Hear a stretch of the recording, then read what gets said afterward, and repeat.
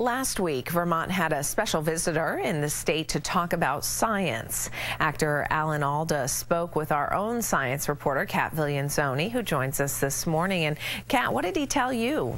Well, Julie, Alan Alda is perhaps best known for his roles in MASH and The West Wing. But he told me his lifelong passion is actually science. How do scientists run into trouble with conveying their ideas? The most basic problem is not connecting to the people they're talking to or writing for, and connecting mostly to what's in one's own head. And that's a problem because they're not in your head.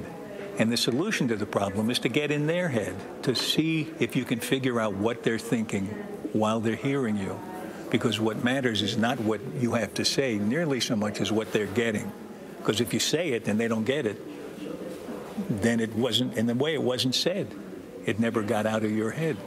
And how do you connect an idea that might be pretty complicated without losing the integrity of what your study was? Really important. We, we, we tried to make it clear that we want clarity but we want accuracy. We, we don't want them to dumb it down. It's really, it, it, that, that's to be avoided at all costs. Because if you dumb it down and the audience gets it, they haven't really gotten what you want to communicate. So there's no point in it. And worse than having no point, it actually can be harmful.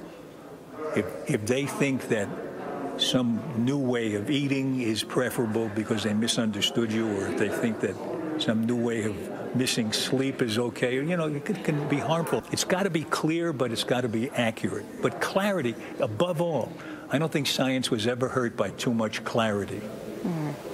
So how do you achieve that clarity when maybe the person you're talking to does not have that science background? Well, that's the whole point. If, if you're talking to somebody or to an audience that you know is probably not trained in science, you have to bring them up to speed in some way so that they understand what you're talking about. But one of the mistakes that we often make is that we say too much.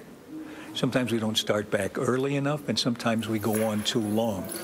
And you can cram somebody's head so full of stuff that they can't really sort out what you just told them.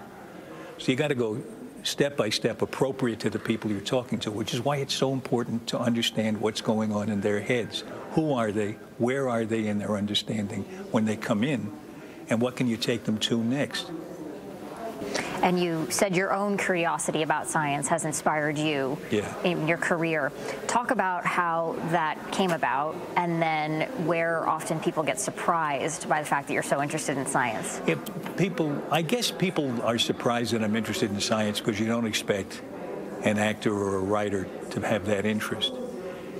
That's one of the problems that we have in the culture. Everybody should be expected to be interested in science. It's like hearing good music or reading a good book. Why do we do that? We do it because it's fun. It's fun in a deep way.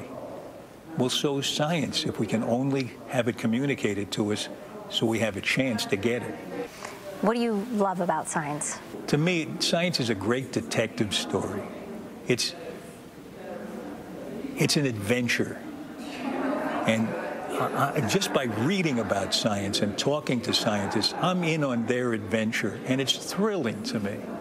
I don't, uh, there isn't anything as thrilling as that. The unexpected is constantly happening. I think people go to a sports stadium to experience the unexpected, that fellow humans are going through some tremendous effort to achieve something, and they're just trying to get across the goal line. In science, there's that same effort to achieve something against tremendous odds. And when they come up with their goal, crossing their goal line, all our lives are different. So how can you not be interested in that? Definitely a great conversation with him. Such an interesting man to talk to. And you can hear our full conversation with Alda on this week's You Can Quote Me, which is actually going to be on our website a little bit later. All right, thank you, Cat. I'm going to date myself a little, but boy, I just, I'll never forget him on MASH, the last episode of MASH, sitting with my three brothers and my mom and dad in our living room in St. Jay watching that show as a family. It doesn't happen very often, and I think for a lot of us, seeing him reminds us of that memory. We heard from so many people on our Facebook page when we posted earlier this week that he was in Vermont. So many people saying, like you, remembering they were watching it with their Yeah. family Mhm. and Yeah. remembering him as an actor and saying that they really appreciated his character. It's, it was a different time because those were shows that had millions of viewers in the audience and like everybody watched it.